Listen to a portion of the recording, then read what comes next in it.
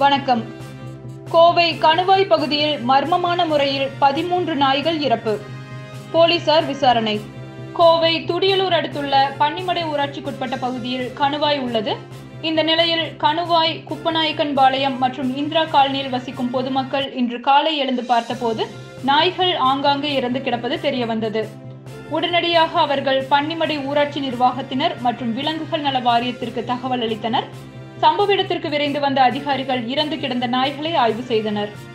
அதில் விஷம் வைக்கப்பட்ட கோழி கழிவுகளை தின்றதால் இந்த நாய்கள் இறந்திருக்கலாம் என தெரிய வந்தது. தொடர்ந்து இறந்து கிடந்த நாய்களை உடற்கூறாய்விற்காக எடுத்துச் சென்றனர். மேற்கொண்டு அந்த பகுதி பொதுமக்கள் மற்றும் தேசிய விலங்குகள் நல வாரிய அதிகாரிகள் தடாகம் போலீசில் புகார் தெரிவித்துள்ளனர். அதனைத் தொடர்ந்து வழக்கு பதிவு செய்த போலீசார் மேற்கொண்டு விசாரணை நடத்தி வருகின்றனர். ஒரே பகுதியில் பதிமூன்று நாய்கள் மர்மமான முறையில் இறந்து கிடந்தது. அந்த பகுதியில் பெரும் பரபரப்பை ஏற்படுத்தியுள்ளது. நன்றி.